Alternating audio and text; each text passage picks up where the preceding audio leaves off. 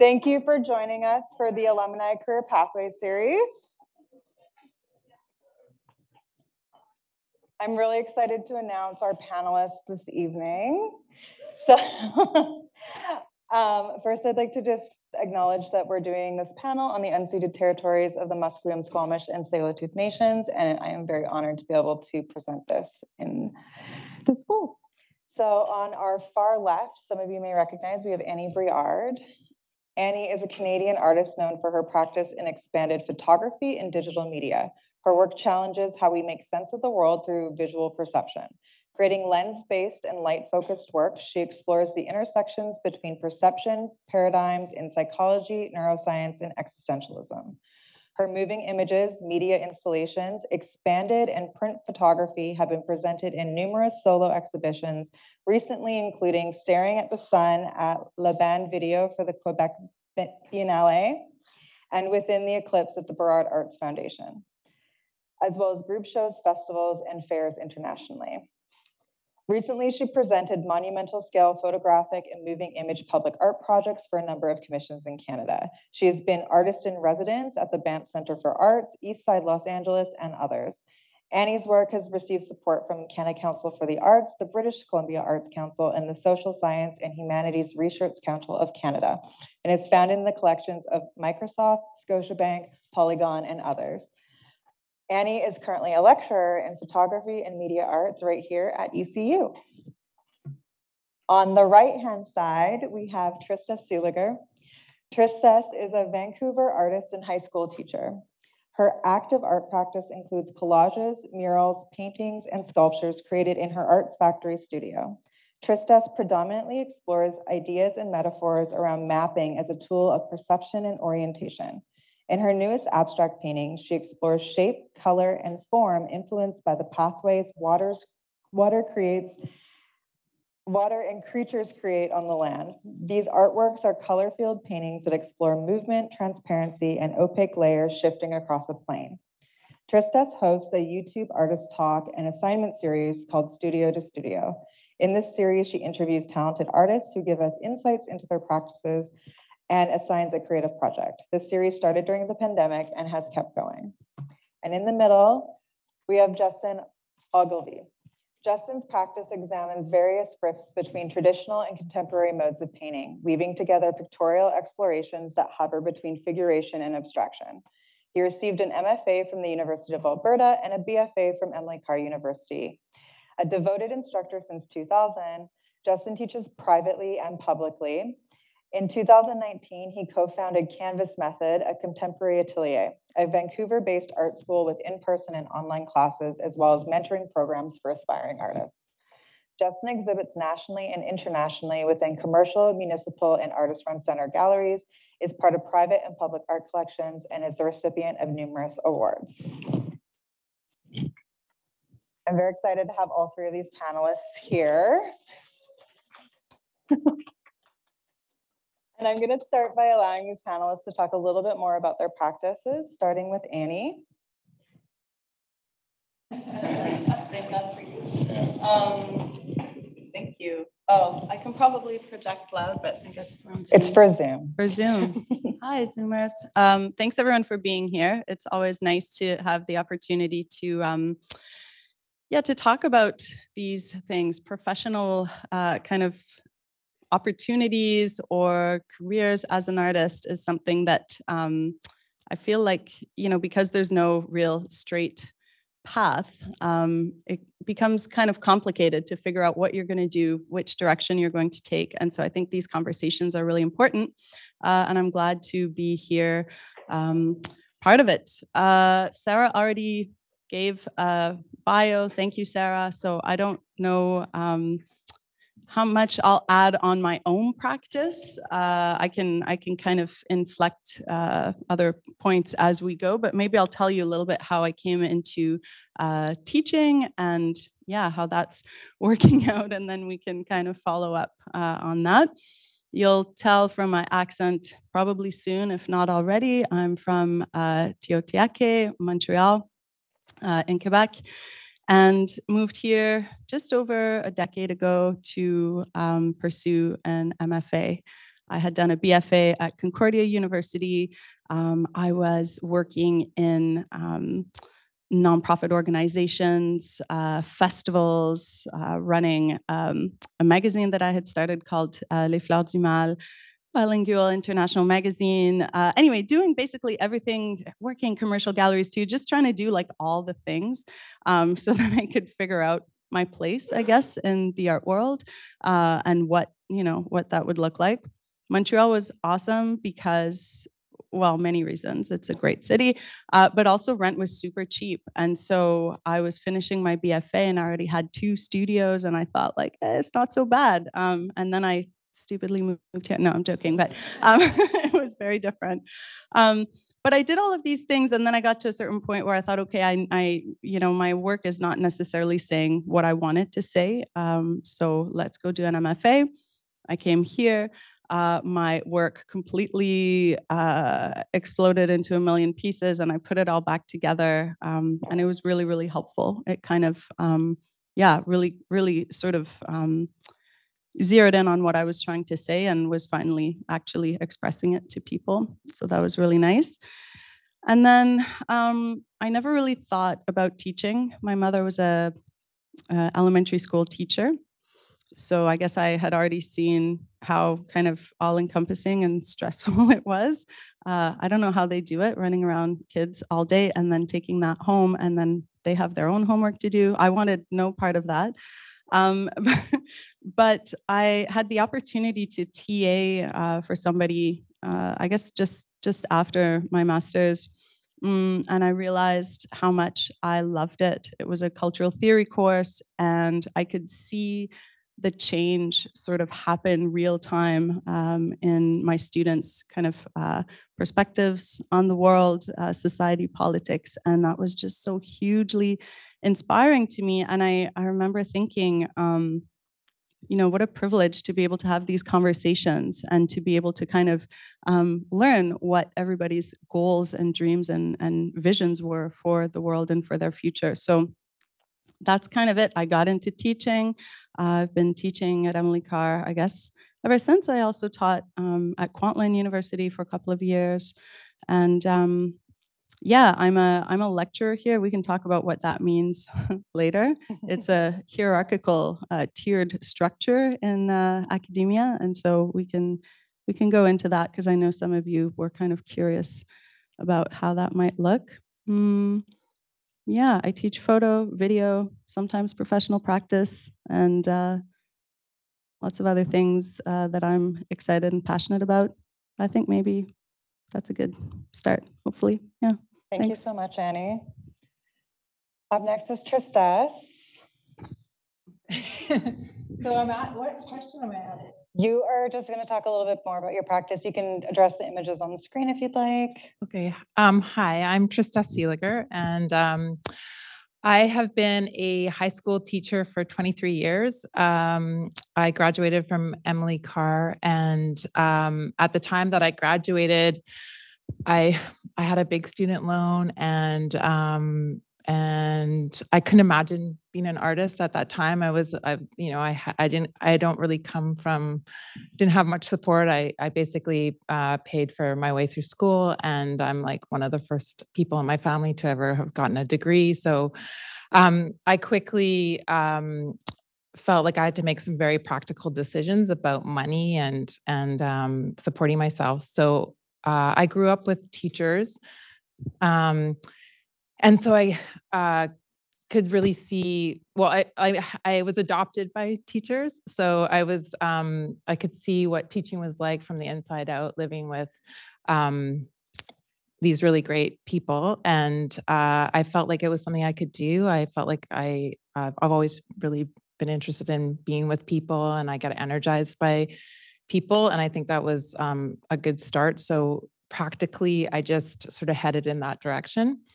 I um, uh, took some time off and taught English in Seoul, Korea for a year. And then I, I realized like I could do it and um, came back and then did my uh, professional development year at SFU and um, and also a, a minor in English. So I had two teachable subjects. and then um, uh, I did, yeah, my professional development year, and and then I basically started teaching about a year after I graduated, and um, and taught for about 12 years. And then I had a major life change that happened that kind of woke me up to the fact that life ends and that I needed to, um, you know, live my life uh, the way that I wanted to. And uh, my husband and I decided like that I should go part time and um, and then devote a lot of a lot more time to be, you know, being an artist, practicing art. And so um actually the life thing that happened to me was that I was diagnosed with cancer and went through cancer treatment. So um, it was like a real shock and a real wake up call. But in a lot of ways, it um, really pushed me into having a enough courage to to make art because I think um, making art is is uh, and calling yourself an artist is really challenging. Like um, making that leap for me, it was.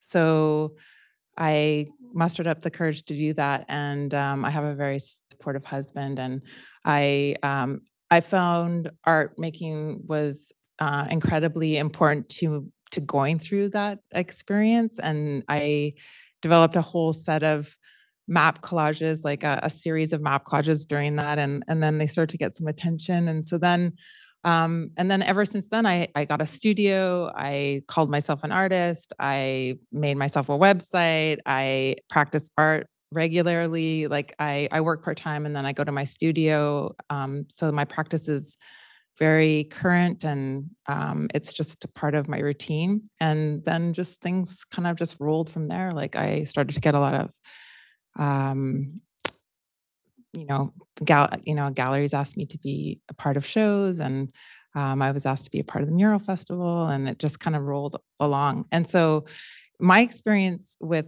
art has been a lot less, um, or being an artist has been a lot less sort of um, planned out. It's it's just how things have kind of rolled out for me. But I um, love it, and I continue to want to grow and and uh, and it's just been a really important decision for me to make as a as a person as a human so uh, my practice is um there erin is actually that that person right there is at the school um but she was uh, my student last year um anyways uh yeah so i yeah i don't know maybe that's Thank it. you, Tristesse. And Justin. All right, thank you. Um, thanks for having me here. It's an honor to be here with these two great people and great artists. Um, so my journey, I graduated from Emily Carr in 99, 1999, 2000. Wow, time flies. Mm. And um, really soon after graduating, I was approached by this local artist. She had like a, an art studio where she ran workshops for kind of hobby artists. And uh, she was like, I'll pay you 20 bucks an hour if you come in and teach a figure drawing class. And I'm like, oh yeah, you know, like yes, yes, that was my first, and that was like a lot of money at the time for me, and it probably still is anyway. So um, I took that opportunity, and um, once I got in there, I discovered that not only did I enjoy teaching, I didn't know that either. You guys didn't know. I didn't know I was going to enjoy teaching, and um, when I got in there, it was like a little um, uh, entrepreneurial side of me came out where I'm like, well, I can also teach abstract painting. I can also teach, you know, uh, abstract background or collage classes or portfolio development. And within six months, I was teaching five different courses at this little cute design shop, with this lady Marine. And uh, that was the beginning of my teaching career. And I used to serve tables in the summer to, you know, make money to, so that I could help fund my time while I was in school. And um, and teaching became a better version of that. That was a better job than serving tables. And uh, so teaching for me, um, doing these kind of private classes outside of the school context was just a means of income and allowed me more time and freedom to be in the studio to paint. Because that's what it's all about. Maximizing the amount of time, free time, like free mental time. So you don't have to think about groceries and taxes and insurance and all the stuff that I'm currently thinking a lot about today, actually. so um, anyway, um, yeah, so teaching became part of my path to make money, and it was um, integrated. It integrated its way into the way I thought about making art. So it informed my art practice, which was surprising. And I'm sure everyone here can relate to that. You, you want to learn something, teach it, or write a book, you know, on a topic you don't know about. You learn everything about it. And, uh, so, yeah, where do I go? I mean, there's so many things to talk about. It's just like, When did you start? Oh yeah, Canvas method. Yeah, there's that. Um, anyway, um, before before I do that, uh, maybe like so. Once I was doing this private stuff with this little place, eventually I was like, well, I should apply to teach at Emily Carr. You know, you reject it until you have a master's degree, and so I just did the continuing studies, and then eventually I got my master's, so I could teach at Emily Carr. Taught at Emily Carr for a while, and uh, that was great. I loved it. It's kind of like the dream, right? You got all these students that are ready to to go for it, and uh, you can mold all of our minds together. And um, yeah, and then eventually I taught at Vancouver Film School, and when you do your master's, you teach uh, taught at University of Alberta, and um, and there was something I liked about the freedom of the independent classes that wasn't available within the university context, which is to say, for me, to keep like uh, to simplify it, I found that at university there was a very big focus on conceptual practices, and there was a little bit missing as far as the technical side of, say, drawing and painting. I have a master's degree in painting, but I've never been taught technically how to draw or paint. I'm self-taught, and that's great. I actually like that, but I do think I'm one of the lucky few who had the kind of tenacity to figure that stuff out. You know, um, a lot of people they kind of quit that and do other things and become a dental surgeon or something. I don't know. Um, so I became very interested with independent classes where I could bring technical into the focus as well as conceptual. And then as my career advanced as an artist, I came from kind of a love of the old, like traditional kind of old masters Renaissance stuff. I have a my first muse was the human body. Life drawing class changed my life. That first class and first day of art school was like, wow, I just want to draw the body. And then eventually that ship sailed and it became more quote unquote contemporary, right? And um, conceptual practices and creative practices, bringing all those together. So technical, creative, and conceptual, I wanted to weave that all into one class, not have them so segregated. So I created in 2019 this uh, private little school called Canvas Method. Has anybody heard of Canvas Method? Uh, the marketing's got to improve, I see. Um, so it's just uh, it's it's the we offer classes seven days a week, kind of like small classes, ten students at a time, and um, the idea initially was for me to have all my dream students and we could just go on a journey together. But now I'm not even teaching that much. I hire teachers. I bring in local talent to come in and teach classes, and they're sharing their gifts with the students, which is really amazing. So my life now is more like a businessman. I'm sitting on the computer, like hiring people, dealing with customer complaints, and it's uh it's not great that part of the business. but um but talk about a learning curve, and like it or not, it's informing the way I think about art, and it's informing the way I think about life, and uh, it's all very valuable. So anyway, I think um, that's the business side. All that aside, I love painting and I love drawing, and that's all there is to it. It's that simple. Thank you so much, Justin.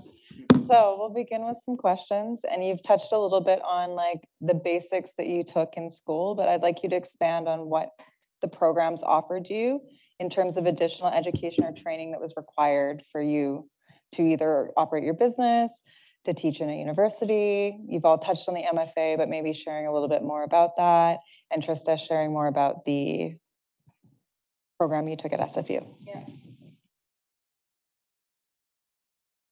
No. It's asking me.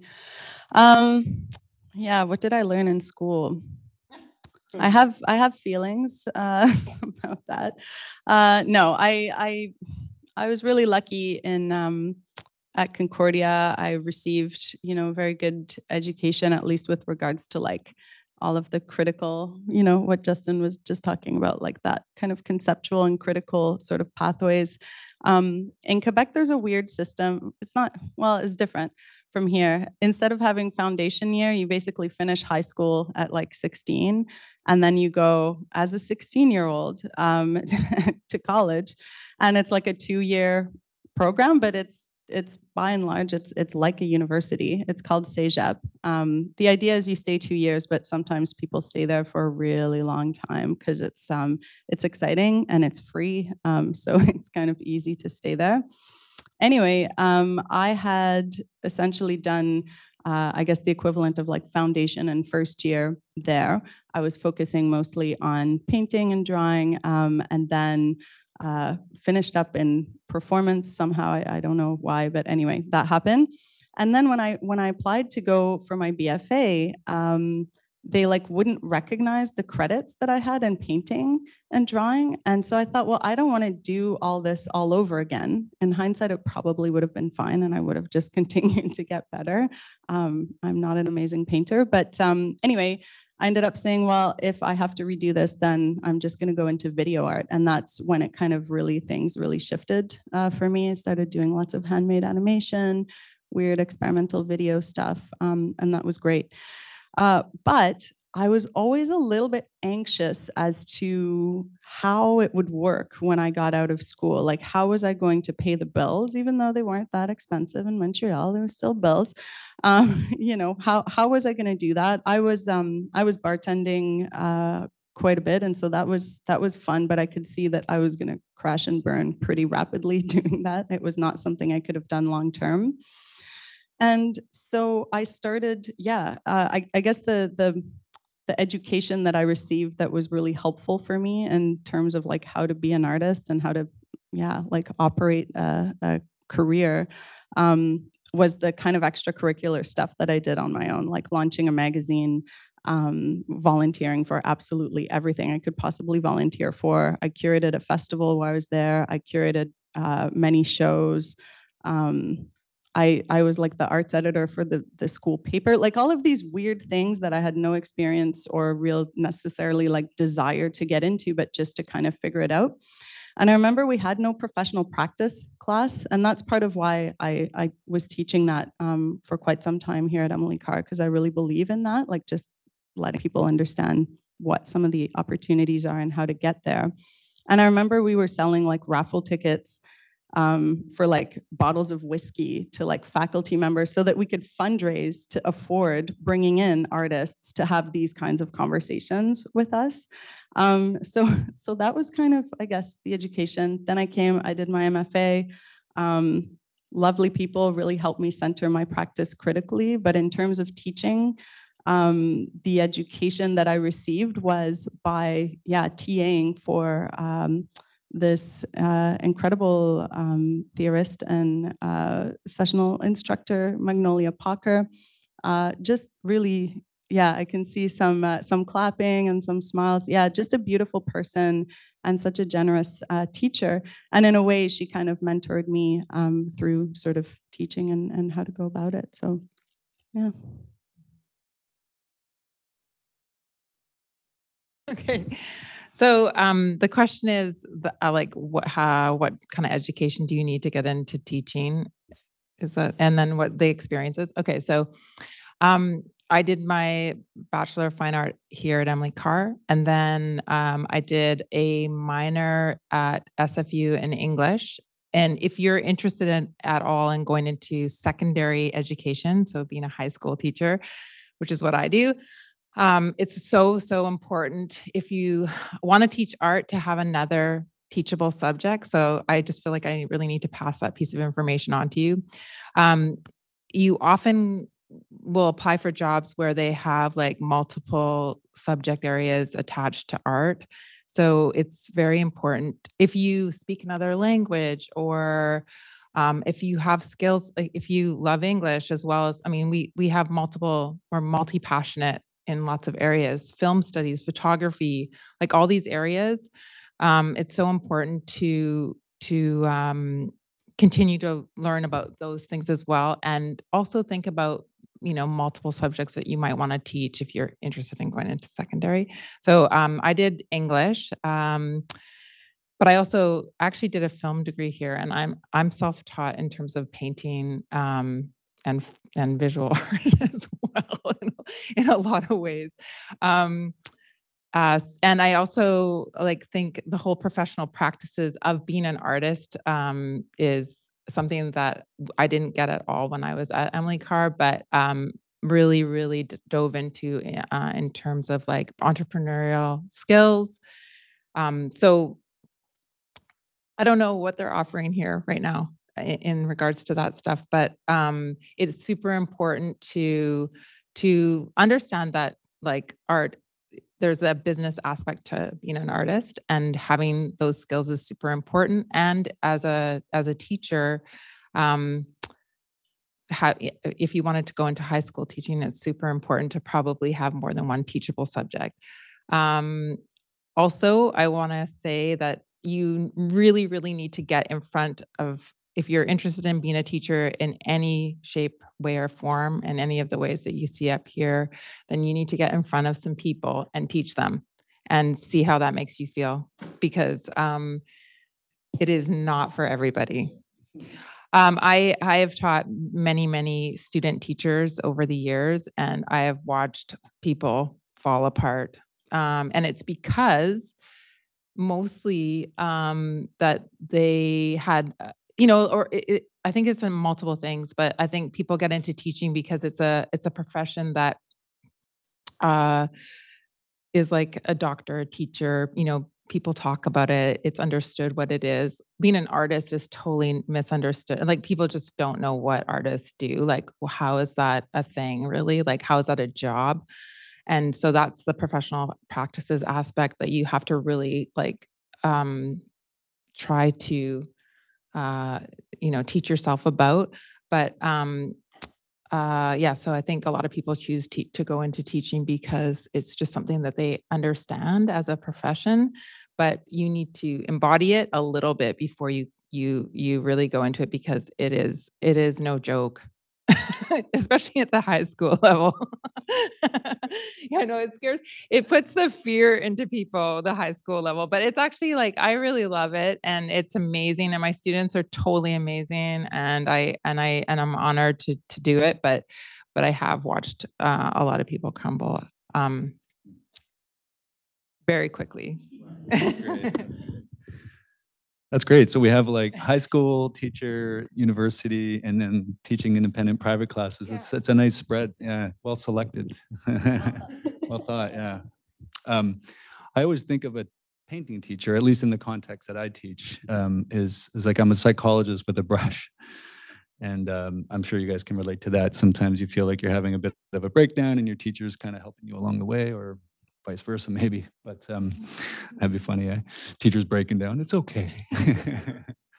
um, yeah, you know, you learn on the job. That's the best lesson for sure. Um, I, you know, in doing my master's, part of the master's program. How many of you guys are thinking of doing master's programs? Yeah, and is there anybody here that already knows, or at least is questioning if teaching is a, a thing for you? Guys, and then how many know for sure teaching is a thing? Oh, good. Yeah, yeah. So uh, yeah, it's it's definitely like I like what you were saying, Tristesse, about just it's uh, one thing in your mind and then you go do it. It's another. Having to really care about people. That's tough. And if you're naturally empathic, it's okay. and um, I, I discovered early on that I, I I love people and I actually believe in people and I actually believe that I can teach people and I can help guide people. You know, like I have that in me. It's like natural. I'm eldest brother, probably it's part of that dynamic. Who knows? But um, so that helped a lot. And then as a result of that, I would get in people's faces when it mattered, and I would make them take a stand when it mattered, and then or I would back off and let them take the path when it mattered. You know, so. And I've heard people. I've had people yell at me, and uh, people leave class, and I've had people cry. I've cried. You know, so it's not always like on the couch, you know, in class, like in a psychology thing, but uh, um, but it's always there in the background. And when you're dealing with people's creativity, you're dealing with people's egos. And so part of my training as a teacher has been, um, I guess, learning about myself as a human being, overcoming my own problems and challenges within my family, um, and doing personal development. I've done, you know, in my early 20s, I did a bunch of that self-help, you know, you read those self-help books. I was like addicted to that stuff. My language was like laden with that annoying, you know, I got to maximize myself, you know. I have a, an elderly friend who used to tell me to shut up all the time. And um, and then that ship sailed, and then I got quiet and just lived life. And um, and then I got into more spirituality. And as an artist, I was interested in the human body, so I got into yoga, and uh, had a background in playing sports a lot. So you you know you start learning about all these things, and you bring that into your teaching. So you know, in the middle of class, I noticed the energy is low. I'm like, everybody outside, we're gonna do some stretches, you know, stuff like that, um, or practices that I can uh, su- suggested exercises I can give to them to help them warm up before they do their real work. I have this whole thing called, uh, I'm allowed to swear here? Buckets. So I have this practice called buckets, and it's like a warm up before you get down to do the real work.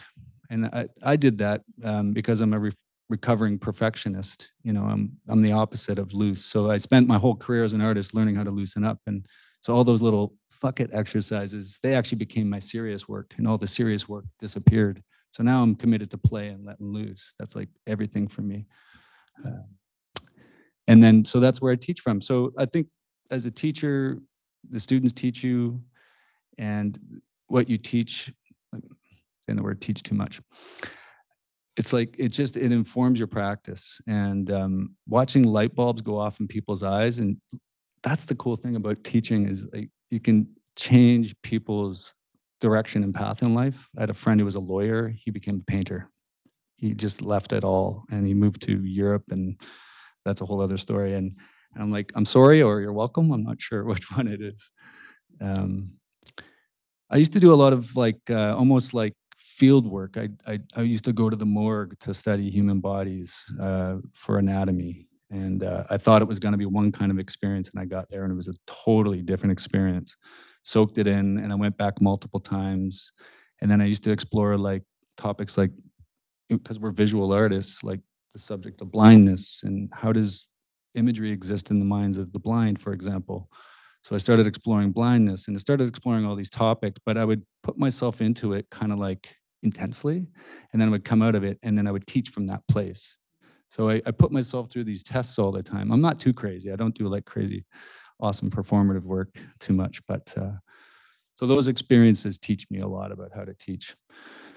But um, I don't know how to answer the question other than life teaches you everything you need to know, and the students teach you how to teach, and um, trial and error kind of thing. And then yeah, but you know that's the great thing about when you teach in high school. You have to go learn about pedagogy. And my brother teaches in um, high school and he's one of the most committed teachers I've ever seen. He did his master's in education and they learn all these various models of pedagogy and it's incredible listening to him talk and like, wow, you're really committed to like teaching people, you know, it's a, a whole other level. So, but I'm just trying to show people how to paint and have a good time. So it's pretty simple. yeah. So anyway, um, is that good? That's amazing. I think I talked Thank too long. Sorry about that. So the next question I have is, how do you keep your practice alive during your day job? And how do you ensure you have enough creative energy to maintain that art practice when you're also sharing it with all of your students? Yes. Um, thanks, Sarah. I feel like you and I have maybe talked about that as well in the past. Um, energy. Uh, right now, I have a two year old toddler. Uh, so, energy is a whole other situation. Uh, he did not let me sleep much last night. Um, that's okay. He's he's cute and sweet. Uh, so it's it's all right. Um, yeah, day job. Well, I think I think for me, part of the um, okay, so it's it's sort of I think I think I'm I'm this person that kind of um, how do I say it in a non-negative? I almost said like two-faced or two-sided, but that's that's not true. That's no. Um, multifaceted i yeah i don't know i i think uh, thank you um i think i think it's more with regards to energies right like i can be extremely um extroverted and recently i've been uh going there's the, there's so many more openings now and they're so huge and so many people and it's a party and i'm like yes i'm there for it. I love it. I'm just feeding up like i feel like a vampire. I'm just going and i'm like give me your energy. Um so so that's been really great but then en revanche like the other side is is you know this introversion that i think a lot of us have as artists as well of just needing to have that time and space and quiet so that you can actually um, think and and make right and so when I when I had finished my BFA, um, I was I was like I said quite fortunate. Um, I got gallery representation right away, and so and and a couple of grants and things. So I was able actually to just take a year as a full-time artist in the studio. I wasn't selling anything. So didn't you know um, didn't didn't work out that well, but um, but I could have um, I could have kind of kept kept going that way. I I was just um, I was miserable just being in the studio full time all the time. I was miserable uh, because I think I was lacking that energy, right, of the people and the interaction. Um, and so then I kind of went the absolute opposite way. I started running um, festivals and nonprofits and being on all these boards. And then it was the total opposite life of just, you know, you're hired for 30 hours a week and it's really 50 hours a week, but you're just paid for 30 hours a week, like that kind of thing. If any of you have done the nonprofit stuff, you know.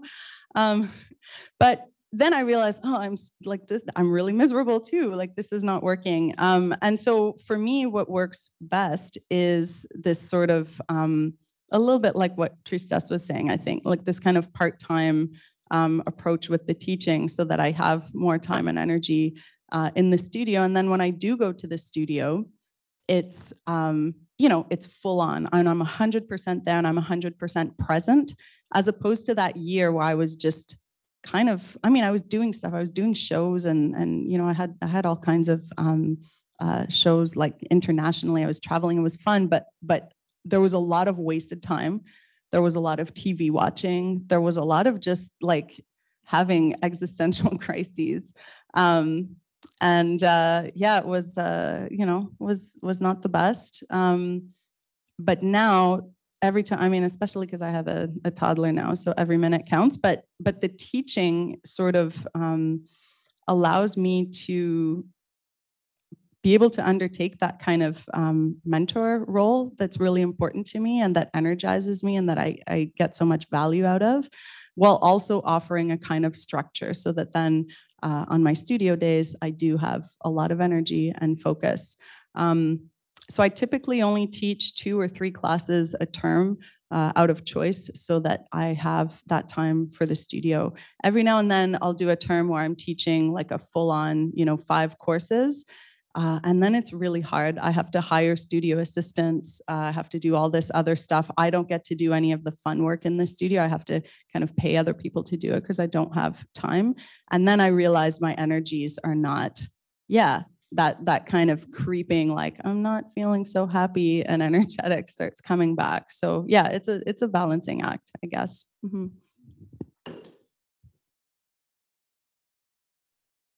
So it's really interesting to hear your stories because I think there's a lot of crossover in a lot of ways. I um so I think that uh, life uh often you'll you'll get into something, you'll get a teaching job. I I you know, for me I I worked full time for 12 years. And and for me teaching full time in a high school was like, you know, I was the department head. I had um, you know, a full course load. I was running clubs but it was um i wasn't happy like um and then you know this event happened and i um then had the courage to really sort of follow my art career. So i think we all have personal um, experiences that and you're going to have your own kind of path to follow but um, i've had a, kind of a similar experience in that then i was able to kind of work with art and and dive into art and it, it actually kind of exploded for me in the first couple years that i um, was making art sort of and calling myself an artist. I got a lot of like attention and um, and then i sort of realized like that was that felt um, it was a, it a, bit, a bit overwhelming and now i feel like i'm getting to a point after like being an artist or practicing art for about 12 or no 10 years now i feel like I'm getting into a rhythm that is good for me. So I think we all have our um you know you you kind of dive deep into something and then you'll realize where there your boundary is in terms of like um how to make it work for you and that's and and i think there's a, something really wise about the introvert extrovert thing is that I, for me personally too i think teaching really grounds me. It's i go I, i'm dealing with you know great, you know, great people, young people that um, represent a lot of hope and the future. And it's very, it's just like a grounding kind of um, um, state to be in. And then going to the studio can be very open. It's like when you are responsible to um, set your own criteria and come up with work that can be very overwhelming and it's also isolating. So for me, it's like a really nice balance to have those two things in my life. And I'm fortunate that I am in a circumstance where I can do that. Um, so uh, maintaining a practice is actually really easy for me because it's kind of almost like um, my wellness routine. Like I go into the studio and and just fooling around and working and being with artists like i love being around artists. It's like you are my weirdos you know? I love you know like the, the, it is my it is my people. So teaching in my sphere at uh at the secondary level is quite conservative. And so i've always you know or it tends to be more conservative and so i've always um you know, not quite identified with that tribe. And so having artists and and being creative and being around people that are doing interesting things has been really important for me. So um yeah, for me it's like I just go in the way I maintain my practices, I I practice. And I when I've read about other people's uh, creative practices, you know, other, you know, you've there's lots of books about how other people have, you know, writers, filmmakers, um, artists, visual artists, and so on. It's usually that they they just go in and and just do the work, even if they don't feel like it. So it's like really a practice. That was awesome. Um, yeah, for me, this question relates to artist block or what happens when you're, you know, you're you're having a hard time to use the phrase drink to keep drinking the Kool-Aid or you lose faith or you're like, you know what I mean? Like, am I making pictures to hang above rich people's couches? Yeah. Well, a lot of times. For example, or or is this idea of blo- uh, you know, I'm exploring squares right now and just blocking squares with color. It's like the stupidest idea, and I'm totally into it. But then sometimes I'm like, is it stupid? I think it's still stuff, you know. So and then keeping your energy while you're teaching, you know, you put all this energy out. How do you keep your energy in, right? So that whole life work balance thing. Um, so it relates for me anyway. This question to artist block, or how do you deal with the psychological tools to keep you physically present. You know, that famous saying from Chuck Close, uh, something, something to the effect about inspiration. It's like, uh, it starts every morning at 9 a.m., be there. Um, or inspiration is for beginners, you know.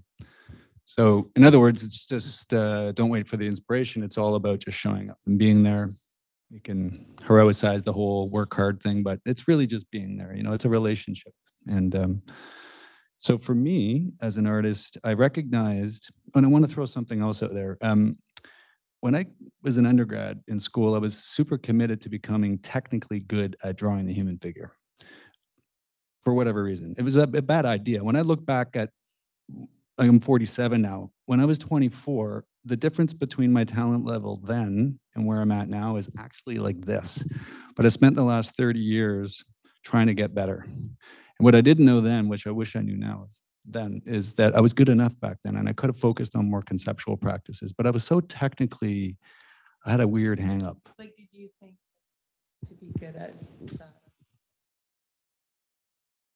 I did say I was a recovering perfectionist. Uh, yeah, for me, I had a certain vision and I was miles away from it. But now looking back, I was actually good enough to participate in contemporary figurative painting because contemporary figurative painting now it's it's more about not traditional approaches to representation, but coming up with your own problems and coming up with your own solutions, right? Uh, Dana Schutz, you guys know Dana Schutz, for example? Anybody? Come on, you guys, you got to know Dana Schutz. Anyway, um, so it's and that's what art school taught me. That's what Emily Carr taught me. It's like the most talented people are sometimes vi- like visibly the less talented. You know, they're they're creative in other ways. And um, I'm getting a little bit off track here. Oh yeah. So I came out of school having this technical skill, and that's what got me the job to be able to teach. So if I had any kind of advice, if you guys are interested in like maybe not teaching in the university context, but you want to survive in teaching independently, is to become really damn good at some technical thing so that people pay you money to do it. So for example, if I teach a workshop, this is going back, I've been doing this for the last 20 years. I would teach a two-day workshop to 10 people and I'd make about $3,000 in two days. And then I would only have to teach one weekend per month so that I could guess what I could do for the rest of the month.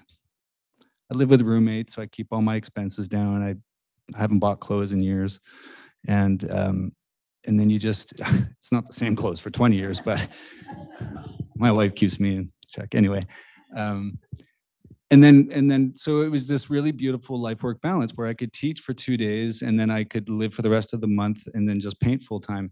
And then once in a while I would teach two classes and then it's like, oh, I have enough money maybe to go to Seattle, go see some art museums or something. So um, in other words, get paid too much money for the time that you're spending working. Like, how can you do that? $16 an hour is what I made when I served tables.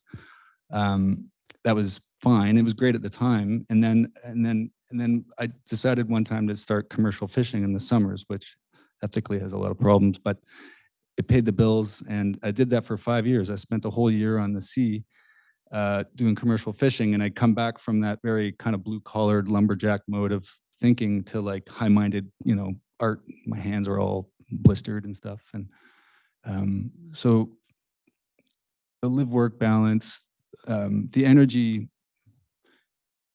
Yeah, it's too much to answer. I, can't, don't even know where to begin. I think, I think you did Like- great.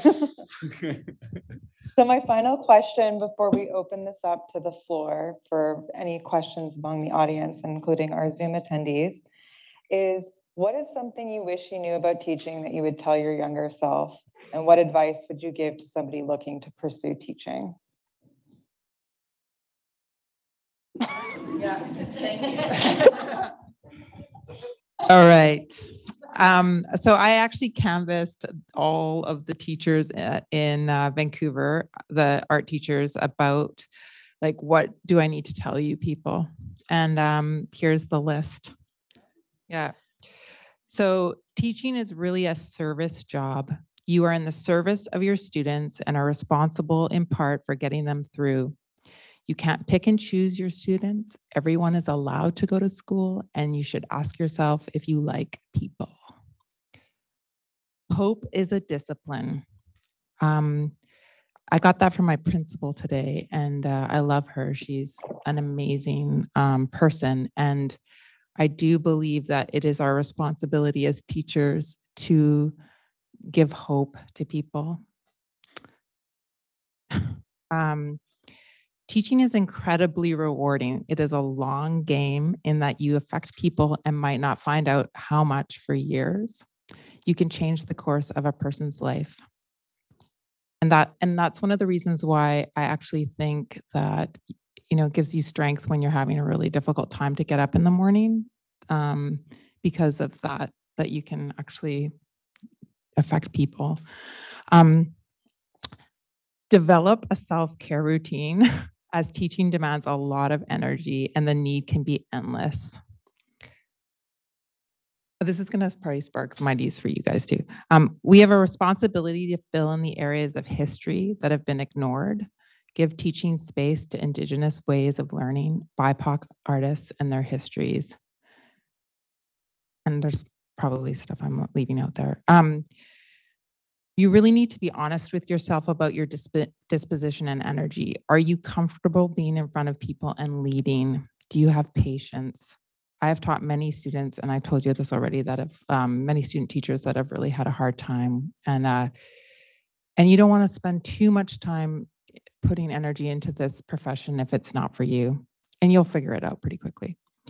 Um, the best way to control a class is to know your stuff and feel or energized and excited by the subject matter. If you continue to teach a subject for a long time, you need to constantly adapt and change. In high school, there's a lot of people that are just calling it in, and we've all had those teachers. And if it's boring for you, that translates into the students. Um, my principal also said, it's all about relationships, relationships, relationships. Um, I highly recommend that you teach a few classes before you go into teaching. Um, like teach your parents how to do something, um, get feedback from them. It's like, give it a try. Um, sorry, you guys, I just wrote down all this stuff. um, okay, when you do the professional development year, uh, um, for for secondary teaching or um, elementary teaching, um, don't do anything else. It is demanding. Um, it is important to follow codes of conduct. The community is small and gossip and behaviors are noticed. So treat your colleagues with respect, even if you don't like them. Um, make friends with the custodians and the office staff. They are very powerful. That's my list. That's awesome. Do you want to take? it? Sure.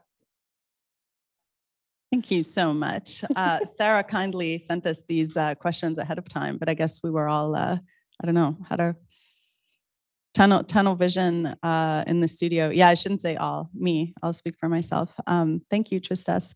So a couple of things. Um, I'd love to just, um, yeah, respond to one of the one of the things that you brought up, uh, especially within higher ed. Um, we talk about decolonization so much now. It's become, you know, a big kind of buzzword, uh, which is great because it's something that we need to think about. But it's rare that it's sort of enacted, uh, you know, within the curriculum. It's one thing to um, sort of disrupt the canon and bring in voices that have been, you know, maybe kind of um, cast aside or obfuscated or just not kind of given that uh, that central space. That's super super important. But in terms of teaching uh, practices, beyond that, I think it also extends to how um, we expect people to learn and the kinds of activities we expect them to do and the deliverables that we ask of them. Um, so this is, uh, you know, I don't know if this extends to all areas of teaching, but certainly within higher ed, uh, for myself, something that I've done is give students uh, numerous different options in terms of how they do the work. Um, I've let students turn in, you know, uh, comic books, uh, animated videos. Now Zoom's a thing, so everybody's doing like video lectures, but we weren't doing that um, when I started. And kind of letting them turn in a paper that way, if that's something that's more comfortable to them. And so I think that if um, and and you know we we keep sort of trying to move into that direction so that the institution isn't just kind of you know pressing everybody into a mold and then letting them go and okay great now you all sort of speak the same language and are doing the exact same thing or working in the same style. And so i think that um, that's something maybe to to think about right? Are you are you willing to kind of have that diligence and be creative with regards to um, sort of yeah disrupting maybe the system a little bit and changing things up but also seeing students uh, as as um, yeah as individuals and and kind of thinking that through a little bit. Um, then the other the other part of it, I don't know, maybe I'll get in trouble for saying some of these things. Should I do it? I'm gonna do it. um, this is again with regards to higher ed uh, in particular. I've also I've also done. Um, I think Tristesse was saying teach like like start um, you can do some trial kind of teaching. And so I think uh, many community centers and uh, municipal galleries are always looking for artists to do some kind of a workshop or facilitate something. So those can be really great places to try. You don't need an MFA for that. Uh, you don't even need a BFA, but if you have the BFA, it certainly helps, you know, uh, give give that extra oomph uh, and, and credence uh, when you're when you're kind of applying. But those are all great opportunities. I've done that as well. Higher ed, um, like I said before, there's really like a hierarchy structure. And um, for me, it wasn't really made clear, I guess, like the economics of it. Now that I think of it, I'm like, what were you thinking? Um, we graduate about 450 students from the BFA programs every year. Uh, at Emily Carr. I know that because I used to um, manage the grad show, and it was nuts. So many, so many people, so much art. It was great.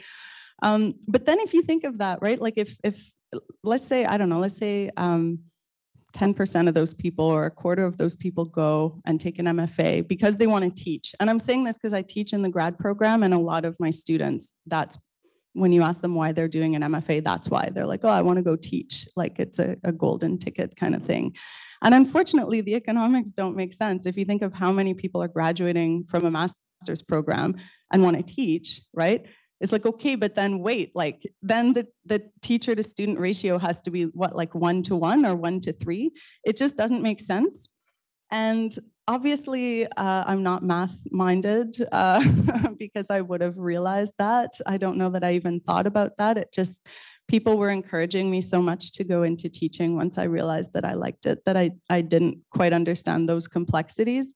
Um, it's really hard to get in, right? And then once you're in, um, to get more than you know a class here and there is super super difficult as well. It's extremely competitive. It is not based on how hard you work or how badly you want it or even who you know. There's just so much else at play there as well. And so I guess it's just a little bit of um, a real talk because that's what I'm about. Um, yes, if you're excited to go into teaching higher ed, do it. I'm not trying to rain on your parade. I love it. I'm loving my life. Everything's great. I love my students. It's, you know, it's a happy, happy time. But just be aware that it's not because you get that master's, right? Um, that that's naturally going to kind of uh, occur or, or take place. Um, academia is more and more relying on part-time uh, contract workers as opposed to hiring professors. Uh, and we see that. I won't give you the stats for Emily Carr because that's not what I'm here for. But um, but it's it's just something to kind of yeah keep uh, keep in mind, be aware of. I think that it used to be a golden goose. Uh, MFA graduates were so limited, but now MFAs have become a way for um, universities to make money. I'm not saying everywhere. I gained a lot from the program. Uh, I thought it was great, and every you know, I think uh, the few people I, have spoken to tonight that did MFA seem to love it too. But it's not the only way. Exactly, it's not the only way, and um, yeah, it's yeah. I don't know. Does that make sense? I hope I didn't like. Yeah. That makes great. at my at my level, if you want to know what teachers make, it's all online. No, no, no. Nope, oh, oh. But yeah, but but in terms of like the economics of it, like what everything that I like is is your is your salary good? More than um, Ab- yeah. about money. like you're saying that it costs a lot of money to to get your MFA, that and it and then you want to be a teacher, it's very competitive to get into Yeah. the post-secondary world, right? Yeah. That that's super important. That's important to think about because so I um I we can talk if anybody needs help with scholarships, just come see me. Um I I did get like a paid ride for my MFA, so that was fine. But I have a friend who went, I won't say where, it's not in Canada, it's in the States. She graduated with three hundred and fifty thousand dollars US of debt from her MFA. And now she's been out five years, still has not been able to get even a sessional teaching role. Uh, so that's really, yeah. um, Yeah. Okay. You have to approach the, you have to approach it like with, um. You hear me? Like, I think you, you can approach these things with different, like my, i have a son that's nineteen. And he's thinking about getting his, um, welding ticket, but he also is a, wants to be an artist as well. And so he could here in a year from now and then be able to like probably afford to do, so there's like different ways to get where you're going, you know? Oh, uh, yeah, okay. Yeah. That's okay, yeah. Yeah, it was perfect, everything you guys said. That was really great. Um, I was actually wanting to say a lot of that stuff, but because I don't teach here currently, I was like, "Oh, maybe I shouldn't go there. So, uh, thank you for saying it for me. That's okay. Nobody saw it. Hi. Yeah, yeah. Uh, Yeah, one piece of advice I'd give to people uh, is to go speak to people who are currently in that industry. Like, don't live in your imagination. There's going to be this and that. Just go speak to the people. So when I was doing my uh, master's in Edmonton at uh, University of Alberta, I speak spoke to a bunch of higher ups. I'm like, so tell me the truth. What's it like in a full time teaching position? And they're like, it's one third, one third, one third. You get one third for teaching, one third for uh, your own practice, and then one third for all the extra community-based things to service and such for the for the university itself. I'm like, what the hell is that? What's service? Or and then I'm like, how much do you actually get to do your own work? So you start, you know, and it, when I interviewed a few instructors, it was like, oh, I'm not going to actually get to do my own work that much. Yeah, you get fairly good pay, good, you know, benefits and security. That's the real issue here. How many of you are freaking out because of issues of security? Not you guys, but in general. Um, so your relationship to security and your relationship to insecurity is usually what's the issue. That's what it's about. And being an artist, you have to be comfortable in that insecurity position, not to the point of self-collapse, but so that's a different conversation. Um, so when I discovered through my interviews of teachers that uh, uh, it was not in alignment with how I want to live my life, I want to be with a bottle of wine in my studio, making money passively while I'm in Mexico painting on a freaking mural or something like that. You? You're all welcome to come. yeah, like I just, I just, just want to paint. It's that old. Uh, it's just simple that way. Just paint. You know, that's the dream, right? Anyway, for me. So uh, talk to people who are already doing it, have a lot of experience, and ask them the hard questions, the ones that you're afraid to ask. Those are the ones you want to ask. And yeah, yeah. yeah, it's really great. And then you hear things you don't want to hear. Bubbles pop. It's reality check. And you're like, ah, okay. So um, that would be that. And then as far as that, so that's the institutional teaching. And the question was like advice Just- regarding. Yeah, do you have, a- there- what would you tell your younger self about teaching that you wish you knew? Yeah, yeah. Well, I would say when I was young, the dream of having my own class was what it was all about. Like that kind of like you're, you're, you're, you know, you get to all work together. And uh, that ship sailed after about two years of teaching. And then all these people became a pain in the ass. I'm joking, but it became a real job. Like we had to really service these people. It was a service thing. It was a service thing. And then I was like, oh, this isn't about you, Justin. This isn't about me and my dream. It's about giving something to these people. And I felt exhausted after a three hour class. I'm like, how many more of these classes do I have to do? So the fitness, you got to stay, the wellness balance thing. Yeah, yeah, yeah, yeah. So it's like any job. It's exhausting if you don't handle it the right way. So Thank you guys so much. blah,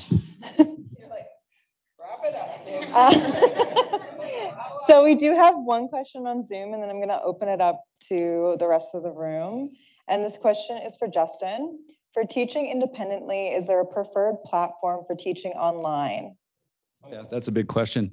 Obviously now, right? Um, Post-pandemic online education. Um, A preferred platform? No, there's so many competing ones. Um, And it's, sorry, it's, the question is, is there a preferred platform for, yeah. I mean, there's just, and, and what's the topic? What's the discipline? Do we know? Painting, drawing, sculpture? Yeah, I'm whatever. yeah. visual arts. I would say Canvas Method uh, Online Art School. no, uh, we are creating an online school, but I'm not plugging my piece. Yeah, I don't know. There's there's just so many. It's it's impossible to answer it. But like New Masters Academy, there's all these institutions, It's drawing is, Drawing. is the. Oh, yeah. right? Uh, yeah, I I mean I hate to say it, but it's probably the best one out there. It's Proko, P R O K O. If you want to learn how to draw things that look like things, it's probably the best, cheapest, most affordable thing out there. And if you wanted to teach your own classes, If you, what to about? teach your own classes, like what would you use? If he wants to do what I do, Yeah, oh, and the advice I'd give him, yes. oh, get good at something and get really good at it, like technically, because that's what people are going to pay you for. They're not going to pay you for conceptual stuff, unfortunately. It's the technical, I, you know, grain of salt, right? But yeah, the portfolio development. So yeah. Anyway, being blunt, but it's kind of true. And like what online, how do you teach online? Is it just, Oh, yeah. Well, we have, you know, with all these platforms that are out there now, you, you- you know, you, I say, I have a camera room where we have four cameras and they're filming me while I'm painting and talking to the camera, mixing my colors and a close-up camera and it's all simultaneous.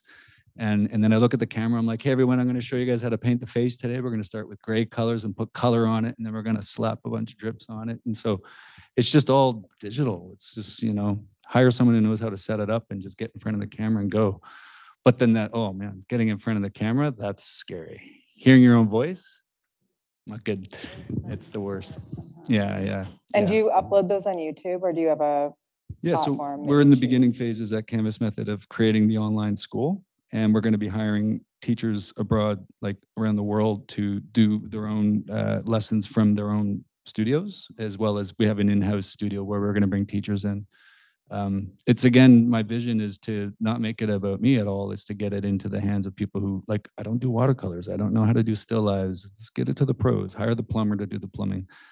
Um, yeah, yeah yeah it's it's what's fascinating about online classes too is that you have those videos forever so we know when i do a demonstration to a live class a lot of those students are going to miss what i'm saying or they're going to forget about it with the online you have it for life those videos you can always learn those things and i think that's an advantage with the online plus you're also close to the painting when i'm demonstrating how to do a tiny thing in an eye for example it gets lost when you're six feet ten feet behind me but if you're there with the the film, right? It's incredible.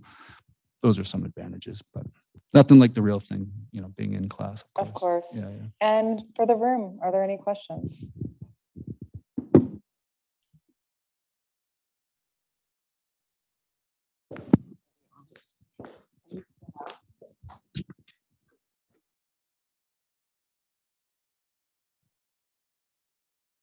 What would you say are some of the factors that helped you break into post-secondary?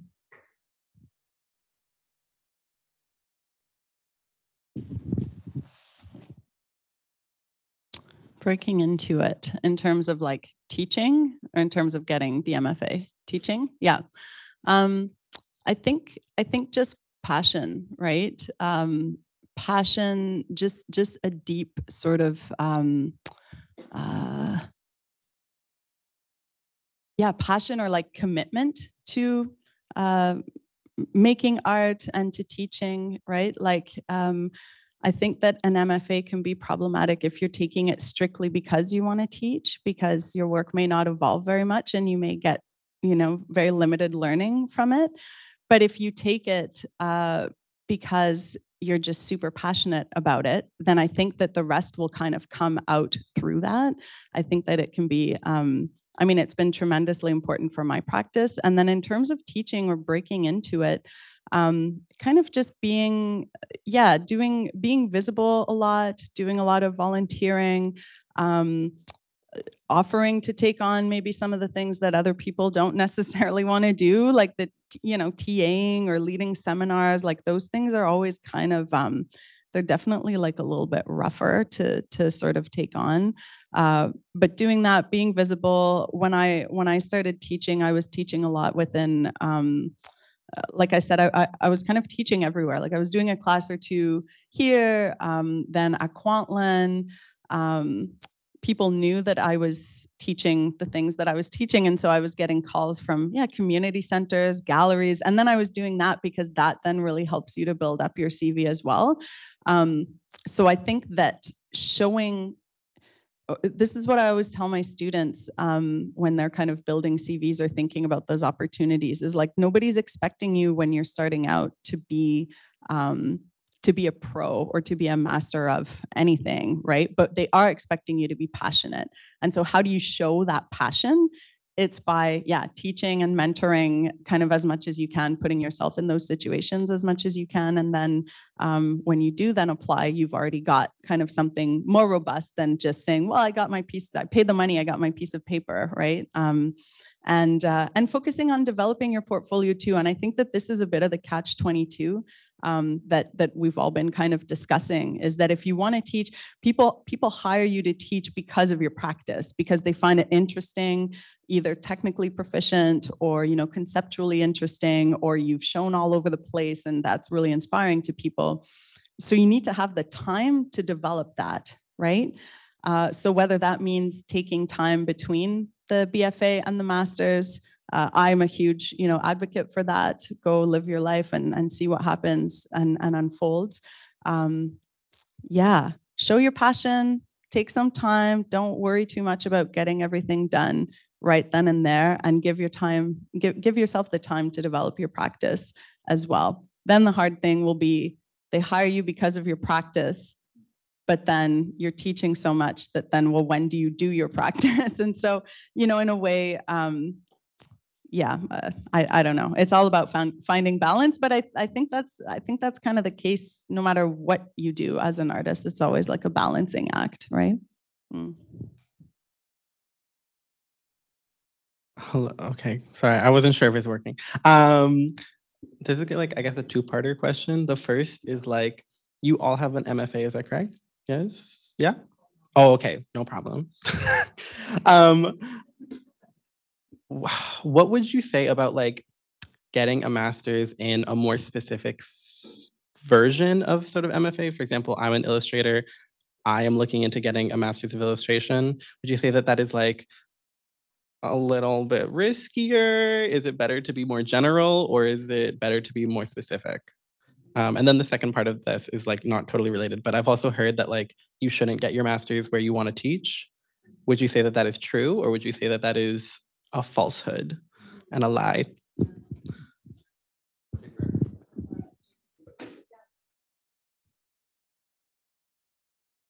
regarding that last one about uh, like don't do your masters where you want to teach. I think that depends on the school. So at university of alberta in edmonton where i went a lot of the people who were teaching were graduates of the program. And they had a tighter knit family feeling among the staff there. Um, i'm not sure what the culture is like here at Emily Carr. i've been taught here for about eight years. Um, I think maybe do you want to take a crack at that first question? Yeah. Um, yeah, I think that generally speaking, uh, uh, this again is a catch 22. Everything, I feel like I'm just, everything's like black and white tonight coming out of my mouth. It's all, yeah, it depends. Um, but basically, okay, so on the one hand, if you get a degree elsewhere, right, and then you come and apply, uh, let's say here, right, definitely you'll be, um, it's not definitely, it depends. But okay there's there's a certain appeal right to bringing in a prof from somewhere else because then they're bringing with them a whole other body of knowledge right and other connections and other institutions that that they they kind of can bring in maybe for partnerships and all of that. So there's something really exciting about that that can be very helpful. Um, but the other reality is that we're humans right? Humans love to as much as it, it, bothers me how nepotistic the art world is. We're humans and so it's sort of like this this is kind of what happens right? People people want to bring people in or learn from people that you know i don't know you're like oh you also know about i don't know the the culture here the community here. Like there's there's an appeal to that. The other thing is um yeah that then you've you've sort of got a community there you're comfortable there uh, you have ties. So i think that I think that it depends. For me, it was accidental. I wasn't doing a master's thinking in any way about teaching. I was just, I don't know what I was thinking, taking a taking a break from being in the studio full time or focusing on commercial stuff. I, I don't know. Um, but it kind of then accidentally happened. I got my master's here. I taught a little bit, and then I just kind of, you know, I left for a few years going going to Kwantlen, but um, yeah, just kind of kept doing things here. So I, I don't know. There's sort of pros and cons to both. Um, I think it also depends on the university you go to, maybe more so than the city. If you go to some small college in the middle of nowhere that nobody's ever heard of in a city that is, you know, just not really a city, uh, then it's it's going to be hard then to get a job in the city, right? But uh, so kind of thinking about it, yeah, that way. There's the pros and cons. Um, you know think when when you're applying to a master's think what uh, what are the criteria do you need? Do you need funding? Do you need connections? Do you need studio space? Do you need uh, mentorship and sort of pick the ones that are like list them in terms of priority and then make your choices um, kind of that way is right is what i would say. Um, then there was another part to your que- oh yeah the the specificity of the degree I think it's, I, yeah, I feel like I want to say it's better to be broad because, right? Because then you have a lot more opportunities and then, um, you know, your practice can develop probably a lot more as well. But a lot of universities are still working in silos where they want to hire a specialist in this very particular niche. And so in that case, you know, like if you know that you want to teach illustration, then yeah, why not get an illustration master's? It, it, it can't hurt, I guess. Yeah. Yeah, like- My first teaching position at Emily Carr, uh, after I did my master's, was uh, anatomy. And I'm like, oh, big surprise. That's something I specialize in. And uh, I didn't do my master's in anatomy because there's no such thing.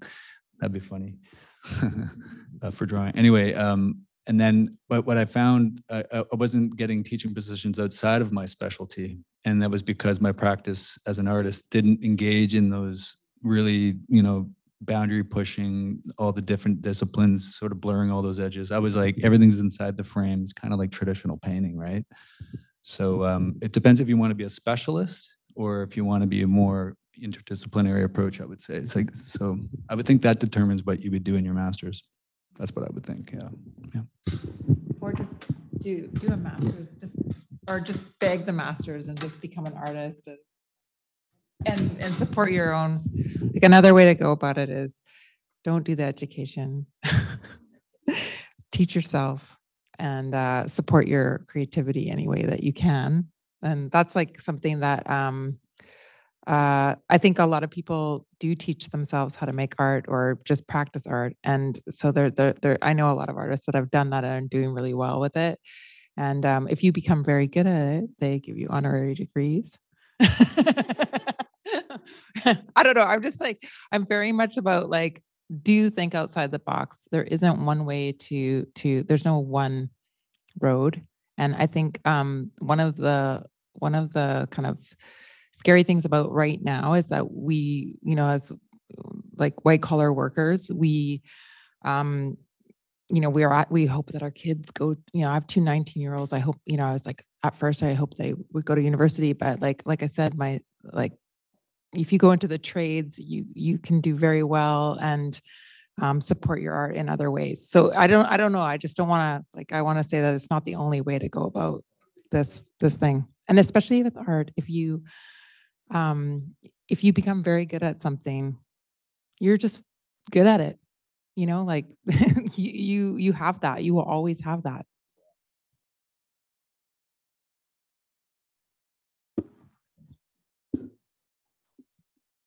Yeah, I was just a little bit curious when uh just uh what exactly goes into getting a master's? Um, because because I, I've been hearing that term be thrown around, but I'm still uh, like for me personally, I'm still a little bit confused as to what exactly a master's is or what goes into getting one to begin with. So, I mean, that's the, after your bachelor's degree, you would, the next step forward is the master's degree. Um, so, and then applying for that position is extremely competitive. Um, for fine artists, it's a lot because all these fine artists require studio spaces and the universities don't have a lot of studio spaces to offer. So in the program I was offered, they offered two positions per year. So, and I applied to 10 schools, I got accepted into two. And I thought I was pretty good. What the hell? I'm just joking, but and uh, it was a two-year program and I stayed for three because it was so awesome. The studio was bigger than any studio I'd ever had in my life and the funding was incredible. So like you, you, you know, when, you- so when you're applying to do your master's, essentially it means that you want to take your practice as an artist to another level in a more concentrated fashion. So don't do it just because you think you should. Don't follow the puppy mill factory path. I took 10 years between, I didn't even think I was going to do my master's. And then I realized, oh, I'm not trying to sell art. You know, I'd, I'd exhibited in galleries for years before my master's. I had a pretty successful commercial thing. And then that ship sailed. I was like, I'm not interested in putting pictures above coaches. So I went into the studio and I wasn't making any money. I was getting broke, and I thought I should go to school because that's kind of what being a student's like, you know. And uh, and so that's what the master's was for me. Is I got to focus on my work and the comfort of the institution, and they paid me to go to school for three years. It was fucking awesome. Kind of like an escape from life. Anyway, I keep swearing. Just like an extended, like an extended. Residency, right? yeah, yeah. Yeah, it is, it is. And I met my beautiful wife there. I mean, hello. No, anyway. Uh, You find your tribe. you find your tribe. Yeah, yeah. So does that answer your question about the masters? Like the next, it's the next level of schoolings?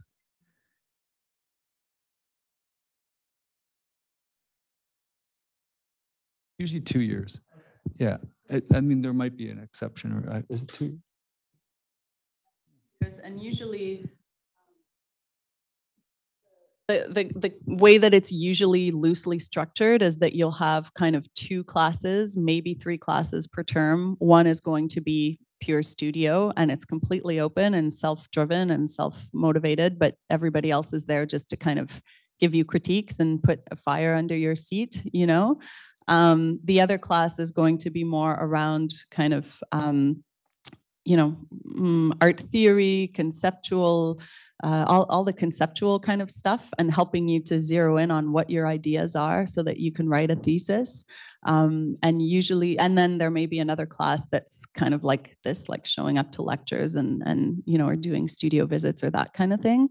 And usually the output of a master's program in order to graduate is a large body of work. So probably something substantial enough so that you could have a proper like solo show or one kind of really complex, more complex kind of project, uh, and um, and a, a, thesis. So here at Emily Carr, we do yeah we do ask for a thesis, which is uh, I don't know. I think mine was about sixty pages, but that included like the bibliography. I think now they've actually shortened it because they thought they were asking for too much. But that's yeah, that's part of it. Mm-hmm.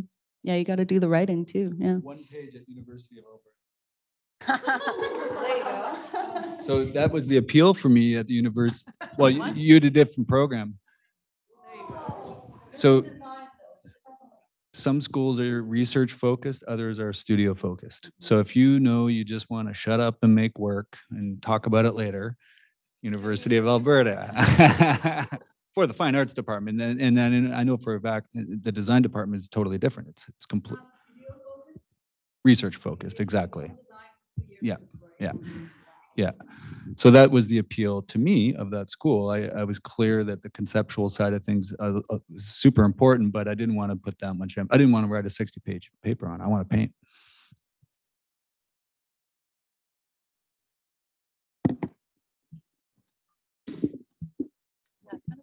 do another mask. I know. I saw somebody's CV recently and they you got the money, you got exactly. You got the funding, studio space. Hi. Whoa, that's loud. Um, I guess when I think about career pathways, I personally get filled with a lot of kind of doubt, like the whole decision making process of it. And I was kind of wondering if any of you experienced any of that kind of doubt about picking where you want to go in your in your careers? And if so, how did you deal with that? How did you finally kind of buckle down and do it? You know? Sure. Thank you. Well, um, so I, I went into teaching for very practical reasons, um, like I said, and then um, self doubt. Oh my God, self doubt can be so it can be so crippling.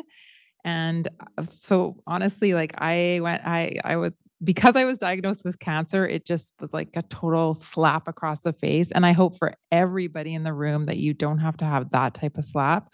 But I do think um, for me, like as an artist, I always felt like um, when I was at art school, I felt very like I was kind of a fraud. And, you know, I, I knew that I was attracted to being um, with this type, these type of people and talking about you know artwork and i was really interested in artwork but i never felt like um, kind of good enough. And so it took a real like intense thing to happen to me to like um, kind of have the strength.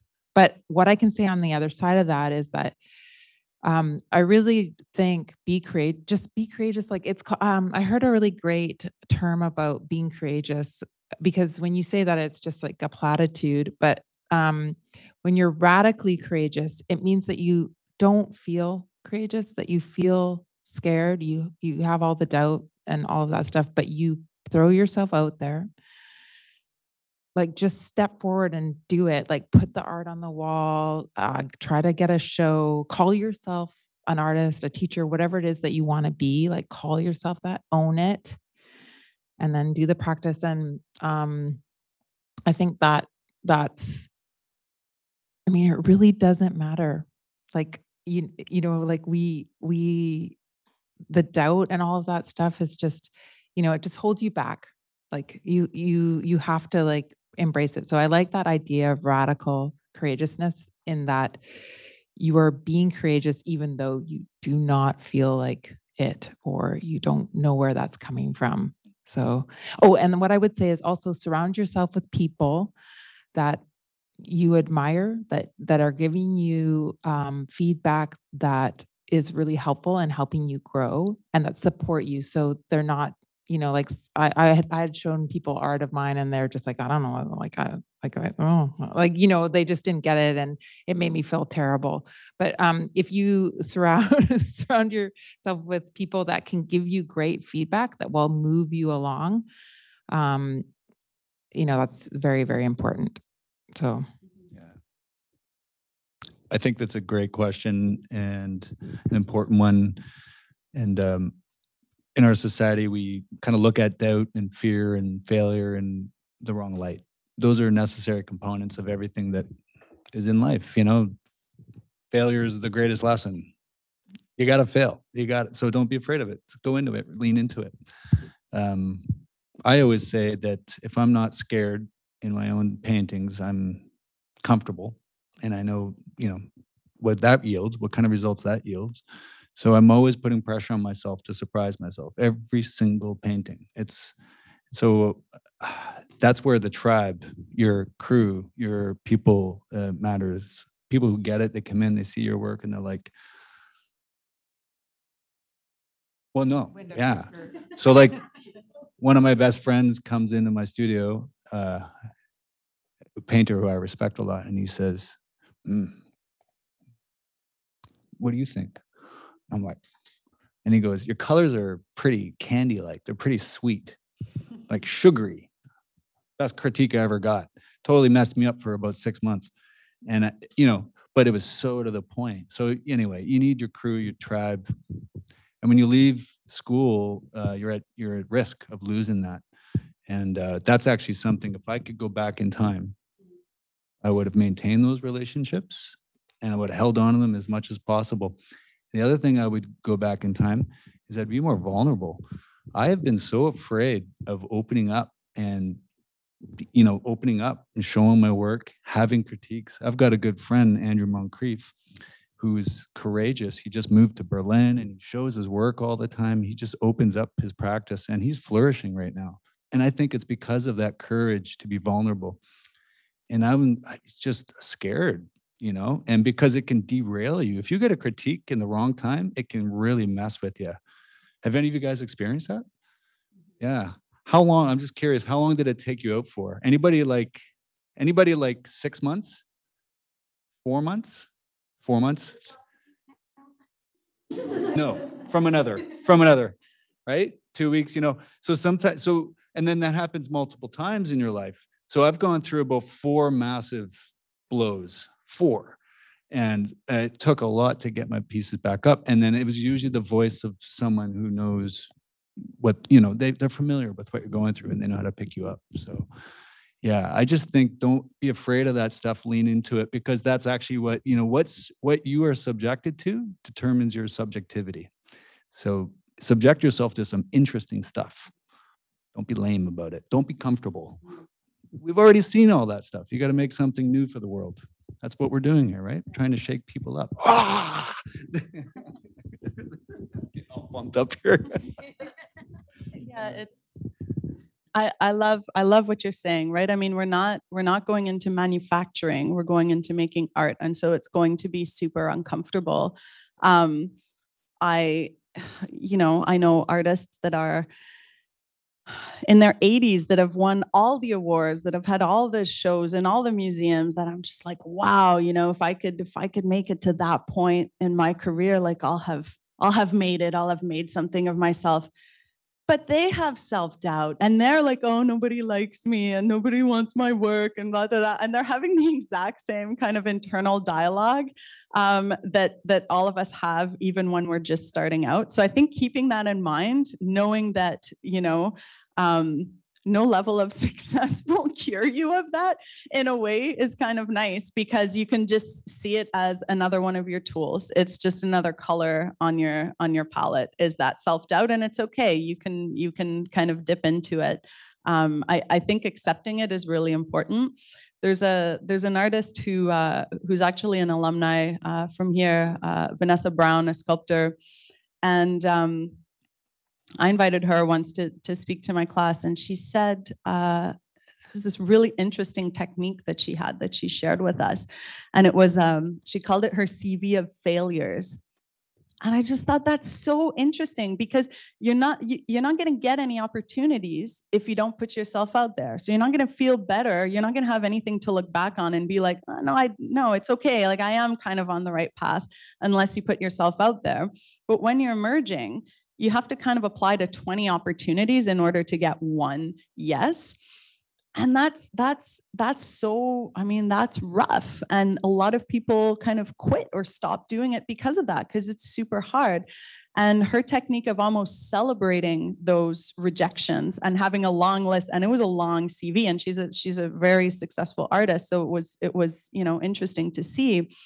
But the more no's that you get just gets you closer to that yes and so i think seeing it that way it's it's all kind of a matter of of perspective and then i'd i'd like to echo what Tristesse was saying too about community like build community go to openings you're you're yeah it's your job as an artist is to go and be there for other artists and be there for your community and support them. We can't expect others to support us if we're not supporting them.